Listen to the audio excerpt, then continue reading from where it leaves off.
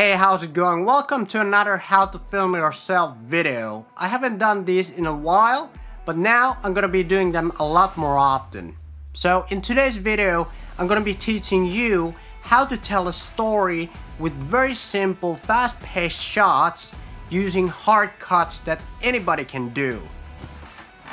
So for this video, I'm using my usual workflow, which starts from finding the right song. So I went to Artlist and I browsed the songs until I found the right song that immediately evoked some kind of emotions in me and a certain story in my mind. And the only thing that I'm skipping in this workflow is that I didn't write any kind of a specific shot list like I usually do because I already kind of have the shot list in my mind. And the other reason is that I'm not quite sure which angles are gonna work and which angles aren't gonna work. So I just figured that I'm gonna go with the flow and see what works and what doesn't so basically the story of the video is gonna be showing my average workday when I'm working at home editing a video condensed into a 30 second sequence. So for the first shot I need a close-up of my iPhone's alarm clock going off and I'm gonna have the main camera on this tripod and the behind the scenes camera is right here.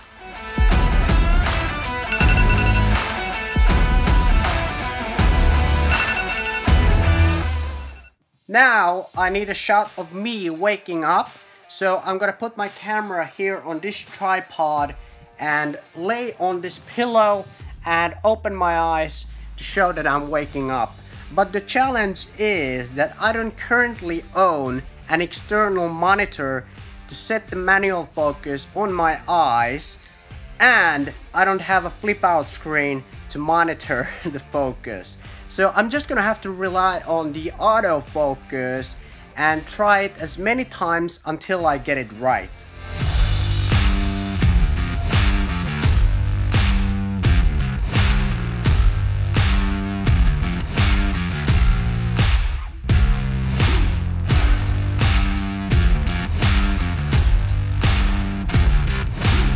Okay, I know that my so-called beard is very pathetic, but that's exactly why it needs to be shaved and it would fit perfectly the story of my morning routines.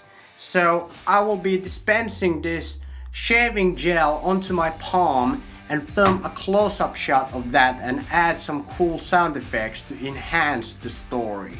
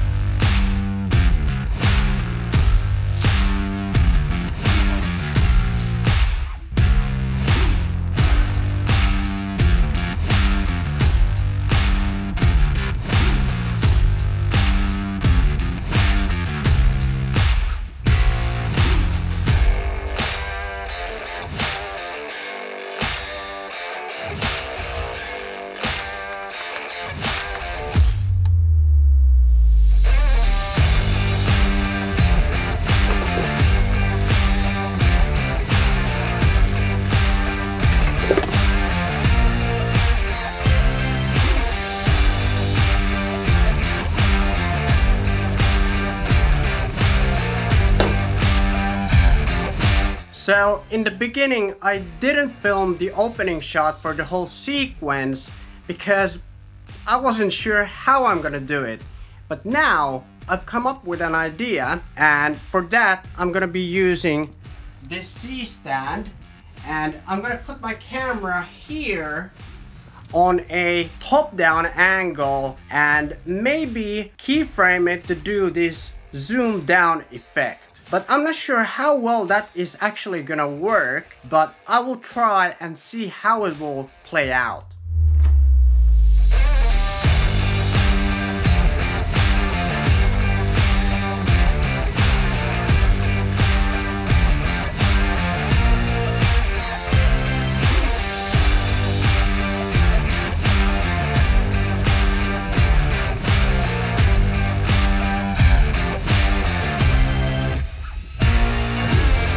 Next shot, I'm filming a time lapse of that clock to showcase the time pass in the story. And I actually closed the blinds on the windows because I wanted to avoid any changes in the lighting and exposure. So that's why I'm using the Nanlite Forza 60B set at daylight temperature and I'm pointing it towards the ceiling to make it bounce all over the room to give that ambient light and kind of like emulate a normal daylight that would be coming through the windows. So for the last part of this video, I'm gonna film myself at the computer editing a video and I'm gonna try to have as many angles and as much variety as possible to keep the sequence interesting and to keep a lot of things happening so that people will be willing to watch the whole sequence until the end because there's a lot of different things happening.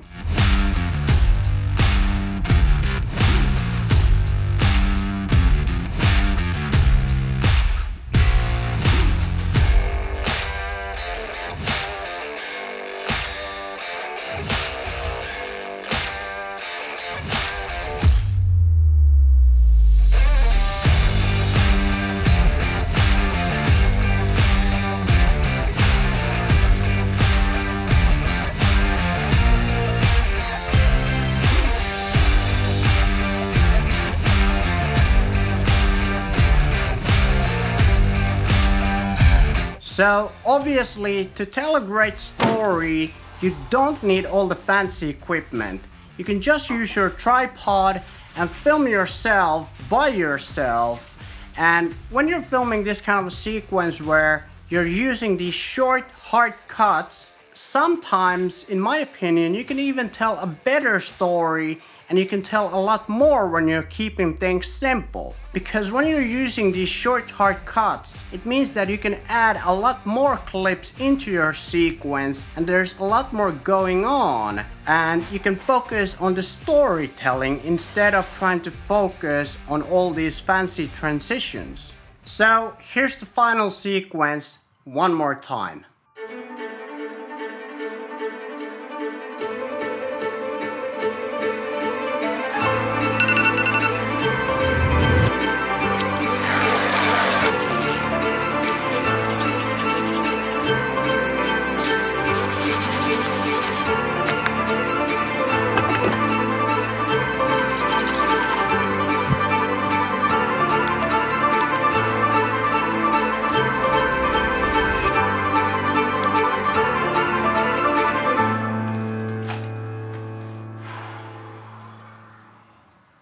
If you enjoyed this video and want to see more, I recommend that you watch other one of these videos somewhere here on the screen because I think you're really gonna enjoy it. Okay, thanks for watching and I'll see you again next time. Take care.